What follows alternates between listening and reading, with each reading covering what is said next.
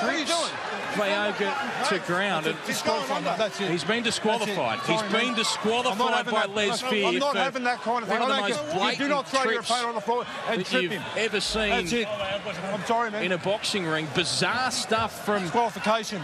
the multi-disciplined Alex Simon, who thought he was somewhere else. Not only does he trip him, but he, he also punches him when he's on the floor. Watch this. Watch this. Oh, there. Oh, he does.